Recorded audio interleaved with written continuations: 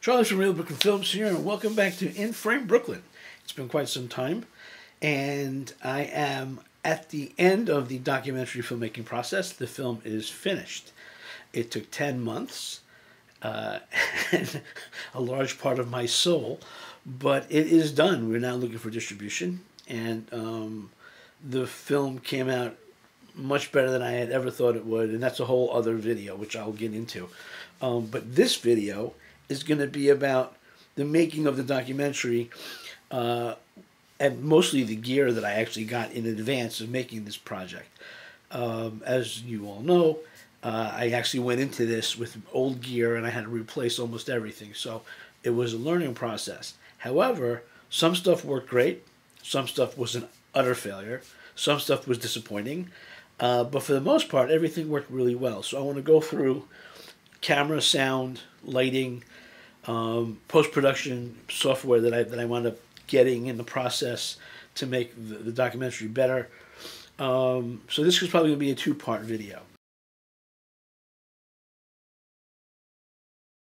So as you all know from previous videos, I went out and I bought myself the Canon EOS R6, and it was the best purchase of this entire project.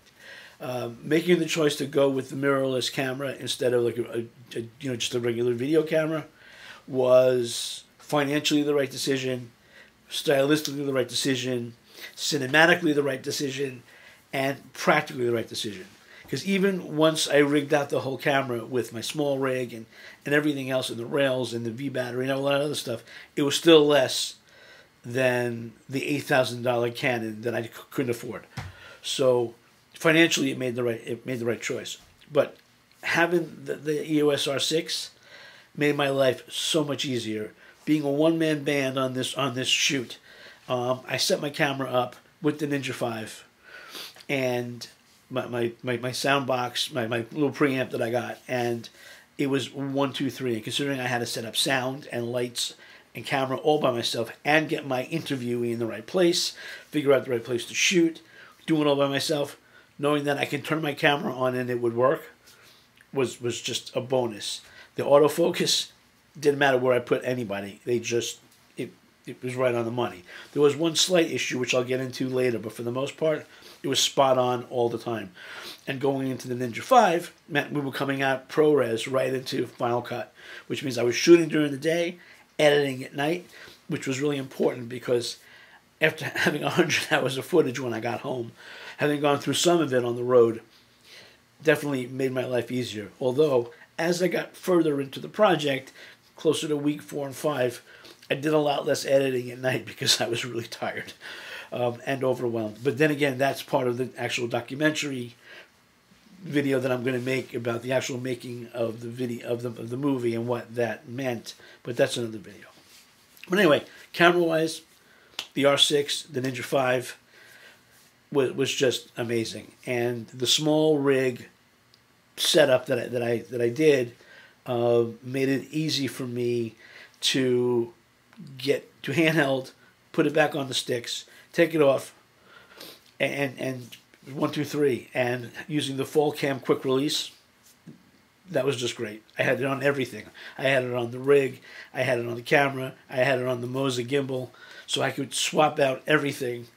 Oh, and on, and on my small tripod too. So two tripods with Falcams, the, rail system with Falcams, the camera with Falcams. Um, it's the best little invention. If you, you don't know what I'm talking about, go back and watch my Falcam review. Um, you got to get these things. They just make life so much easier. So as far as camera went, all my purchases for the camera, I think, were, were, were spot on. Um, I highly recommend the, the, R6. Everybody's like, oh, it overheats. And it doesn't overheat.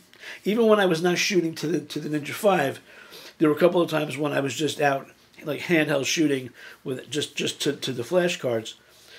Um, there was in the memory, not flash, the, the memory cards.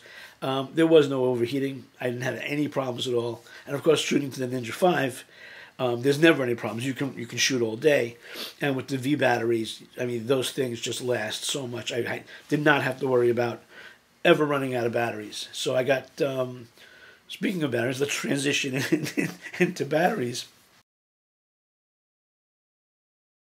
speaking of batteries, let's transition. Speaking of batteries, let's transition. Speaking of batteries, let's transition to our batteries. Um, I got the Indi-Pro full brick uh, V mount batteries. I got two with the charger. Um, it was about five hundred dollars, but you know what though, it was the best five hundred dollars I spent because at no time while I was on the road did I ever have to worry about running out of batteries for the camera or the Ninja Five. Plug them in, good to go. And it's not that heavy, so you know running handheld with the V mount battery wasn't too bad at all. And stabilizing the, the rig, the small rig with the rails against my chest, it was great. Um, so that was not a problem. So taking the whole worry about having to worry about charging batteries. I mean, I brought the little ones with me just in case, uh, but for the most part, the the the, the Indi-Pro V mounts, man, they just rock. Um, I can't say enough about those. Let's talk about my favorite little thing. Follow Focus Gears. Yes, my friend Sean down in Atlanta, who, by the way, sponsors this video, and we'll talk more about that afterwards. Follow Focus Gears makes these amazing rings that go on your lenses to allow for focusing, for zooming in and out, and they fit on any lens anywhere. That he makes them for any any lens you can imagine. He has made a ring for it, or will make a ring for it if it doesn't exist already. Um, it rocks, and I got to tell you, putting it on my my my my twenty four to one hundred oh five, having that that that uh, Tilta follow focus was was great. I mean, the, the autofocus on the camera, I didn't need the focus, but being able to like zoom in and out to exactly what I needed when I needed it while I'm trying to do other things. But without the follow focus ring, it wouldn't have worked. So I highly recommend follow focus gears. Go call Sean. Buy rings for every one of your cameras because you will be happy and you will thank me. And the holidays are coming up, so buy rings for your friends who are photographers also. Uh, follow focus gears in Atlanta. Sean, talk to him. Sponsors of this of this uh, of this video only because their product rocks. Um, I don't do sponsorships really at all. But anyways, so follow focus rings, excellent.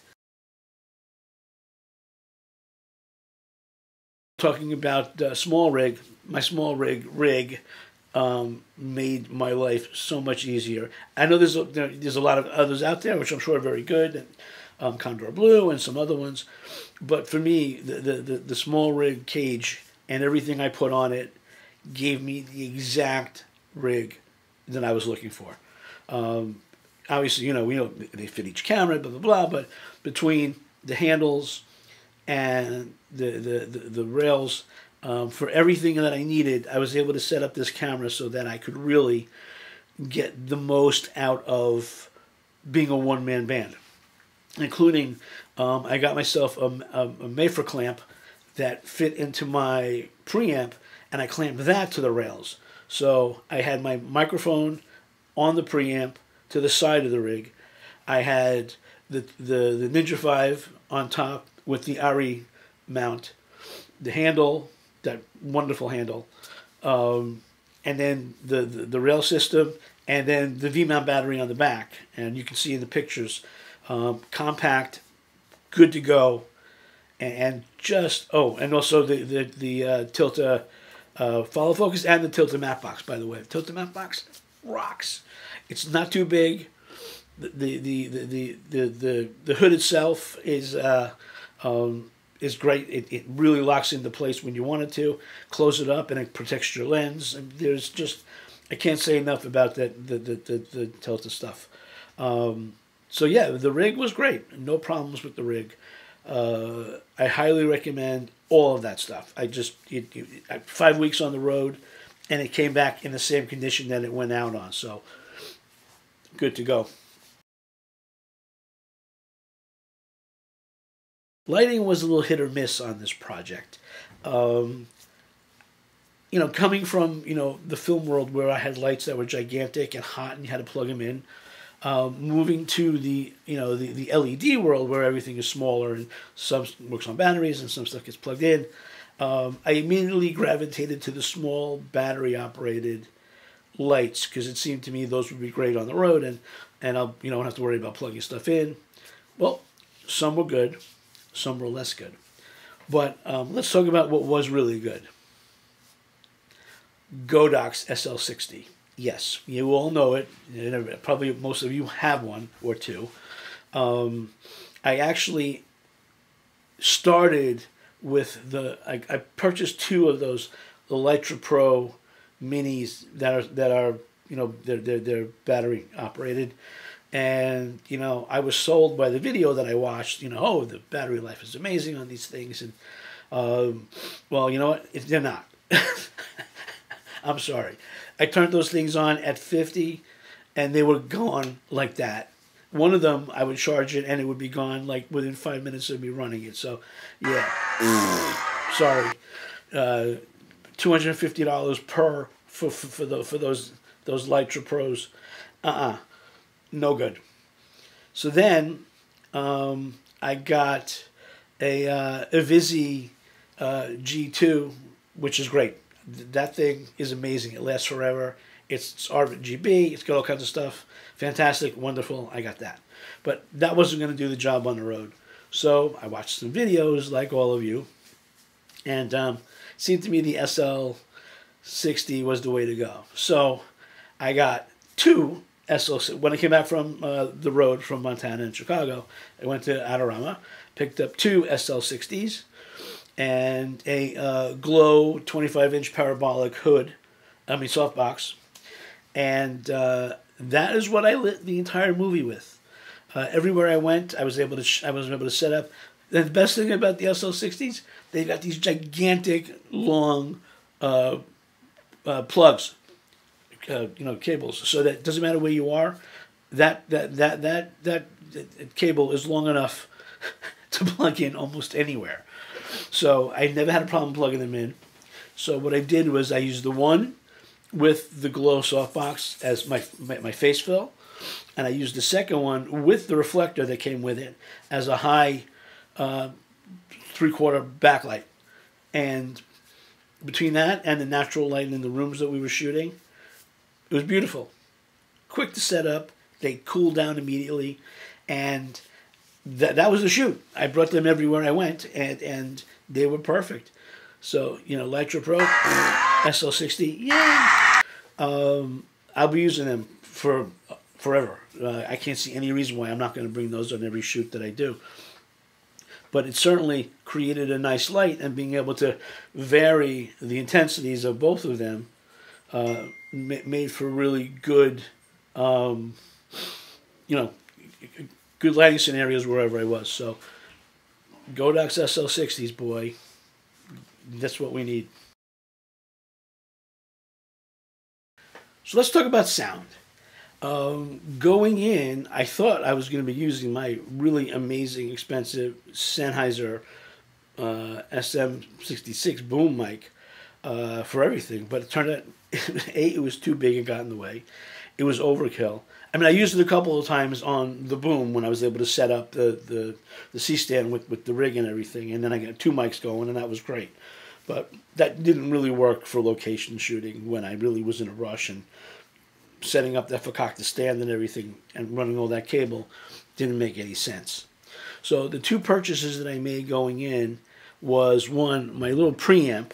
Uh, it's a Saramonic. It's a two channel and you've got XLR and you've got minis and it runs on a, on a 9 volt battery and this was a godsend. Um, I could plug two mics in if I wanted to, but I, I got this, I bought this sort of Mafer system that clipped onto the rail. So literally it's like right here while I'm shooting so I can adjust levels.